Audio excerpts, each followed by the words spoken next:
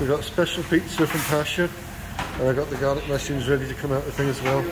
They're in the fryer. Thank you to everyone who likes, shares, subscribes. Oh, okay, I got my friend with me here today. Oh, look at that.